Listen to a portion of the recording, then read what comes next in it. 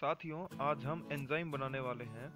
आज की वीडियो में हम इसको सिर्फ़ बनाना सीखेंगे, अगली वीडियो में इसके उपयोग के बारे में सीखेंगे।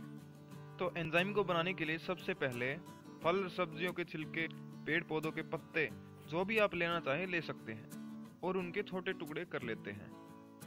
दूसरी चीज़ हमें चाहिए कि मीठा पदार्थ। इसमें हम गुड़, शहद या देसी खांड ले सकते हैं। तो मैं यहाँ पर गुड़ इस्तेमाल कर रहा हूँ। और तीसरी चीज़ है, एक प्लास्टिक की बोतल या कांच की भी ले सकते हैं, जिसमें आपको पानी डालना है। कितना डालना है, ये आपको मैं आगे वीडियो में बताऊँगा।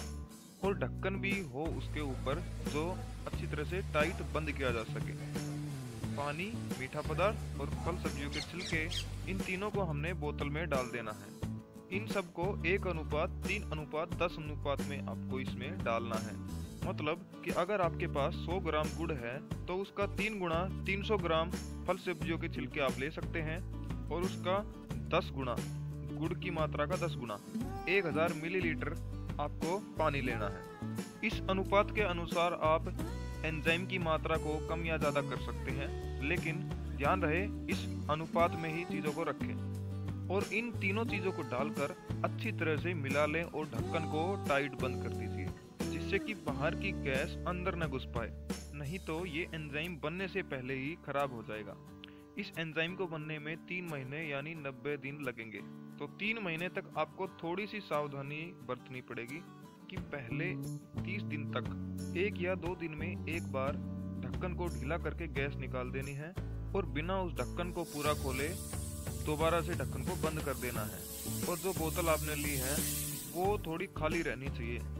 नहीं तो जब आप गैस निकालेंगे तो ये सारा मटेरियल आपके ऊपर गिर सकता है, बाहर निकल के गिर सकता है। शुरू के तीस दिनों में बहुत भारी मात्रा में गैस बनती है। अगले तीस दिनों में इकतीस से साठ दिन के बीच में एक हफ़्ते के अंतराल में आपको ढक्कन को ढीला करना है, गैस निकालना है और दोबारा से बंद कर देना है। इस समय में गैस की मात्रा भी थोड़ी हो जाएगी। उतनी गैस नहीं बनेगी जितने पिछले तीस दिनों में बनी थी। और याद रखिए, ढक्कन को आपको बिल्कुल भी ढीला नहीं छोड़ना है, नहीं तो ये खराब हो सकता है। तीस दिनों के बाद आपके फल सब्ज़ी के छिलके नीचे तली में जाके बैठ जाएँगे। और ध्यान रखिए, जिस भी बोतल में आप एंजाइम बना रहे हैं, उस बोतल को आपको छाया में रखना है, धूप में नहीं रखना है। और अगले इकसठ से नब्बे दिनों के अंतराल में आपको पंद्रह दिन में एक बार गैस को निकालना है मतलब एक महीने में दो बार खोलना है। साथियों, मेरे पास ये एक बोतल और है। इसमें मैंने मौसम्बी का एंजाइम पहले से ही बनाया हुआ है। इसको 90 दिन पूरे हो चुके हैं आज और इसको मैं छान के एक बोतल में डाल लेता हूँ। साथियों, इसके फ़ायदे जानने के लिए जुड़े रहिए। अगली आने वाली वीडियो में हम इसके फायदों पर चर्चा करेंगे और किस फ़ायदे के लिए कितना एंजाइम किस तरह से इस्तेमाल करना है, इस पर भी हम चर्चा करेंगे। और हाँ जिस भी बोतल में आप इस एंजाइम को बनने के बाद डालेंगे उसका ढक्कन भी कस के बंद रखें, क्योंकि बनने के बाद भी इसके अंदर, बाहर की गैस अंदर नहीं जानी चाहिए। इससे भी ये खराब हो सकता है, क्योंकि ये क्रिया ऑक्सीजन की अनुपस्थिति में होती है, इसलिए ऑक्सीजन को इससे दूर ही रखना है। एंजाइम को साथियों आप कांच की बोतल या प्लास्टिक की बोतल किसी में भी डाल के रख सकते हैं, और इसको भी आपको छाँव में ही रखना है, और ढक्कन को भी टाइट बंद करके रख देना है।